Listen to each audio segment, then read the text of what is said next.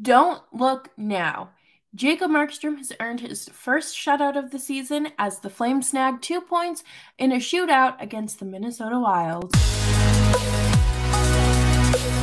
Your Locked On Flames, your daily podcast on the Calgary Flames. Part of the Locked On Podcast Network, your team every day.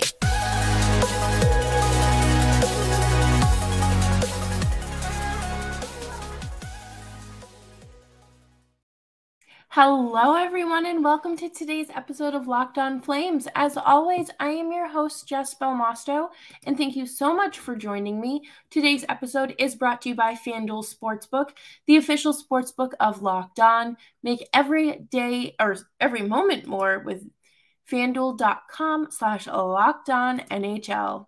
Well, we talked about the Flames needing to go on a heater, and it certainly – is looking like they're taking our advice and listening to the episodes. And, you know, I'm sure this is what they're all listening to uh, pregame or on their way to the arenas.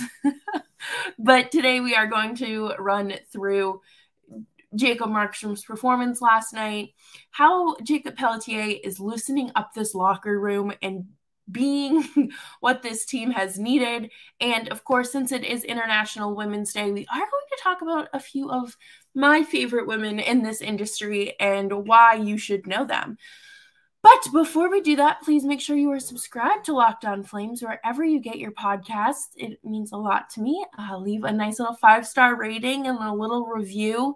Uh, and tell me what you think of the show. I love hearing what um, you know when you're listening to the show what i don't know. I sometimes i listen to podcasts when i'm in the shower and i have to deep condition my hair because I, it's going to keep the time. It's going to keep me entertained right? So when are you listening to locked on flames? When when are when when did you expect locked on flames would cover a. Jacob markstrom shutout this season I figured at some point, but I don't know if I figured if it was last night on the second half of a back to back in Minnesota in extra hockey. It was quite the performance for Jacob Markstrom and just absolutely phenomenal to see, really, from the whole team all around. That overtime goal did get called back due to it being offside. Um, I know Minnesota thought it was the right call as well. It's fairly obvious. And I believe it was Dean Evason who said, you know, you have to have control of the puck. So it just makes sense. It was the right call. Um, and I appreciate that because at least you are, you know, you have a little bit of self awareness there. But there was a quote later last night about how Rasmus Andersson had just like kind of stormed off the ice um, after the goal went in, and he was halfway undressed in the locker room when the goal was called back, and everyone was like, "You need to like get dressed," and he he hurried up. Uh, and went back out there in the shootout. So it's just, you know, I think emotions can get the best of people and athletes, they're just like us. But it was Nazem Kadri and Tyler Toffoli that came up big in the shootout for the Flames.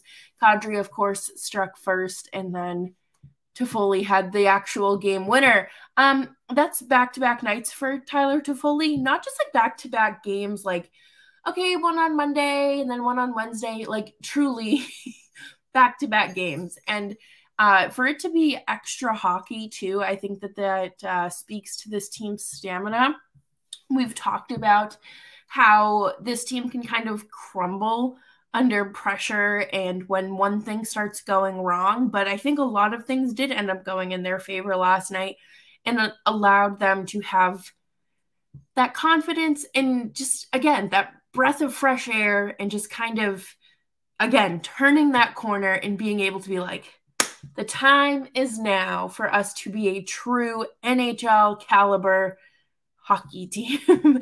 and last night, uh, Jacob Markstrom just performed out of his mind. It was the most saves he has had all season. And I wanted to, I was interested to see what his other numbers looked like um, and when they'd happened. So back in December against Montreal, he had had 37 saves. And then before that, it was October 25th with 32 saves against Pittsburgh. So again, like I guess it doesn't you can't really attribute it to, you know, like there's this giant chunk of time in between there because when you looked when I was looking through hockey reference, it wasn't like it was, you know, 37 one game, 19 the next, 20 here. Like it was consistently like 20s, 20s, 20s, 20s. So, you know, the teams were were getting shots, but it, you know, the defense and whatnot just was allowing a little bit extra these nights, right? But Rasmus Andersson went on to say about Jacob Markstrom, he is unbelievable. He's been unbelievable the last five, six games. He really deserved that one today, last night. He deserved that shutout. I'm excited for him. It, it's really good for our team. He's our leader. And when he plays like that, we have a lot of confidence. And listen, his save percentage is crawling back up there with an 893. It doesn't start with a 9, but it's not an 88 or an 87. So we will we will happily take that, right? It just again, it speaks to how highly regarded Jacob Markstrom is. I think everyone in that room always looks to him for leadership advice uh, or just kind of being that figure of leadership, I think there's really a few guys in the room that command that respect. And Markstrom is obviously one of them. I think in most locker rooms, it's going to be your starting goalie because, like we talked about yesterday, goaltending is the only position where you are expected to be perfect 100% of the time. And it's great to see. It is. I think everything is finally clicking for this team and now it's time to kind of uh, put the pedal to the metal toward for the final stretch of this season and hope that you don't miss the postseason by like a point or two. And coming up next, we are going to talk about the breath of fresh air that is Jacob Pelletier and what his presence, performance, and connection to this locker room means. But before we do that, I do want to tell you about our friends at FanDuel. We are well past the midway point of the NHL season, and now is the perfect time to download FanDuel, America's number one sports book, because new customers get a no sweat first bet which is up to $1,000 back in bonus bets if your first bet doesn't win. I was lucky enough to sign up and get a bonus bet. I mean, I got $10 back and I probably would have won like $6 on my bet. So uh, it was a win win situation. All you have to do is download the FanDuel Sportsbook app. It's safe, it's secure, and super easy to use. And then you can bet on everything from money line to point scores to number of saves. I uh, it was the game against Boston. I had bet that both goaltenders were going to have above uh they were going to have 20 plus saves and I was right. And FanDuel lets you combine your bets for a chance on a bigger payout with same game parlays. So don't miss the chance to get your no sweat first bet up to $1,000 in bonus bets when you go to fanduel.com slash locked on. That is fanduel.com slash locked on to learn more. Make every moment more with FanDuel, an official sports betting partner of the NBA. Thanks everyone for hanging out with me today. It is an absolute pleasure to be here with you. Make sure you're subscribed to Locked On Flames wherever you're getting your podcasts, and that way we can uh, hang out every day. I think that Jacob Pelletier is just this little hype man that everyone needs in their life. I, you know, him and Huberdeau have that French uh, Canadian, that uh, Quebec connection, and they have just formed this bond that is absolutely adorable. You see it on the ice, you see it on social media with uh, Huberdeau calling Pelts his son and just kind of like just embracing that mentor role. And I think it is so nice to see um, Pelt's energy when it comes to, to, hyping players up reminds me a lot of uh, Sean Monahan and a lot of younger Sean Monahan and Johnny Gaudreau, and just how like energetic and ecstatic and just pumped, genuinely pumped they were to be contributing and celebrating their teammates. Uh, you know, it is it's great to see them stringing these two wins together. And even if they're not winning, they're still really good games. And especially, you know, I go back to that game against Boston and how many saves uh, Ullmark had to make, but also just the fact that the Flames were generating enough and being able to give Boston a run for their money. Uh, considering they've been a lower end team going up against one of well the best team in the NHL.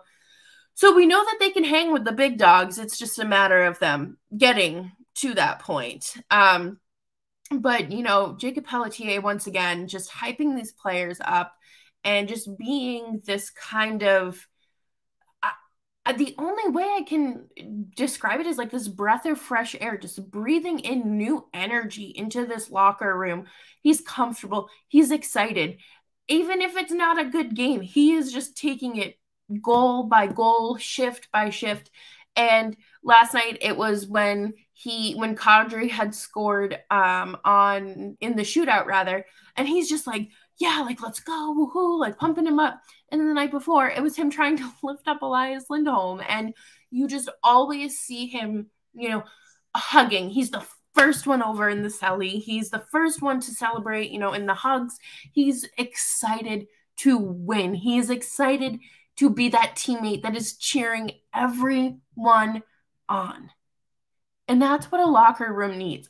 And I think I I think everyone needs a hype man or someone to keep in their pocket to hype them up. So if we can figure out a way to clone pelts and just kind of be like make this some sort of like toy, like, yeah, like, woohoo, you did it. Like, you remember the staples button? Like, that was easy. We need pelts as a as a staples button saying like good job or you did it congrats right but you, you have seen this locker room take a very, very sharp turn from where they were last year as a team. Last year, it was, you know, it's a lot easier to have fun when you're winning, right? It is so much easier to have fun when you're winning and to be in good spirits and to want to go and play on the ice. But the locker room has been so stiff, I feel like, up until this point that it is just walking on eggshells. You know, you just you say the f- same five things to the media every time they ask because heaven forbid you speak your mind in hockey and you know you're a little bit more honest it becomes front page news and you, now you're putting the locker room in a worse position but you know i think it's been loosening up a little bit we talked about how stiff this team is and how it's one wrong move and they begin to spiral. And we we've avoided that um these last few days. And i know it's only like a very very small sample size but for the flames to get to this point means that something else is going right. It means that the attitudes are changing. The there's some sort of positivity in the room that you know like it's just been so like again just that sigh of relief. And it's not about what the end of the season looks like right now. It is about getting those two points at the end of the game. And it's just a shift by shift thing. You you have to chunk it out. Otherwise you're going to get lost in the big picture in these final 17, 18 games. You need to breathe. You need to keep this excitement, this energy up. Marky's doing great. All the lines are producing, which is what you want. And you really can't ask for much else. Everyone is doing their job. Finally. Finally. And coming up next, we are going to take a minute to celebrate International Women's Day on this fine Wednesday evening But before we do that, I do want to take a quick minute to talk about Built Bars. Built Bars are a delicious tasting protein bar that is great for anyone who is looking to, you know, put some extra protein in their tank because they have about 17 grams of protein in each bar. And they're a delicious tasting treat covered in 100% real chocolate that only have 130 ish calories and uh, are low in carbs as well. So they're a delicious, they come in delicious tasting flavors like churro, peanut butter brownie, and coconut almond. I don't know how Built Bar does it, but they truly do taste like candy bars. And that's that's the good part about eating healthy here, right? Because sometimes you're like, if I have to eat one more celery stick, I'm going to just throw it out the car window or wherever you're eating it, right? So, Built Bars taste like candy bars, and you can pick up a box at Walmart in the pharmacy section if you are located near a Sam's Club. Too, you can run to the pharmacy section and get their 13 bar box of brownie batter and churro, or you can order through built.com. And thanks everyone for hanging out with me today on Locked On Flames. I'm so happy to be here with you. And uh, make sure you're following me on Twitter at Jess Belmosto. Since it is International Women's Day, I thought we would wrap up the show with some love and praise for some of my favorite women in this industry. And I'm sure I'm going to leave people off because it is a very long list of women. But uh, first up is, of course, uh, the Flames player development and three time Olympic gold medalist Rebecca Johnston. She is someone I've had the pleasure of speaking with on the on the show and just an absolute beast. She competed at the All Star game as well, and I just absolutely love her. Uh, again, another Canadian, Sarah Nurse. How can you not love Sarah Nurse? She is one of the best, if not, well, she's right up there because I was going to say MPP is probably the best. But uh, again, Sarah Nurse is just absolutely up there in terms of the best Canadian hockey player. Um, you love to see what she does. She's just, she's not only great on the ice, but she's also great off the ice, which is something that I absolutely love. Um, you just you can't get enough of these players with personality, and it just it's so nice to see.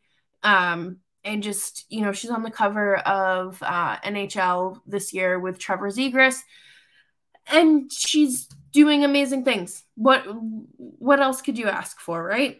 And of course, my good friend Anya Packer, who's the former Riveters general manager and someone that uh, really truly aspires to change the game. I think that she is someone who is dedicated to not only changing the stereotypical culture in hockey, but bringing in, you know, other positives from other subcultures and niches in, you know, outside of hockey and bringing those into uh, the hockey space in a way that is positive and welcoming and inclusive. And she's just an absolute gem to talk to. But I could go on and on about my time with the Riveters and how exciting and uh, revolutionary it felt.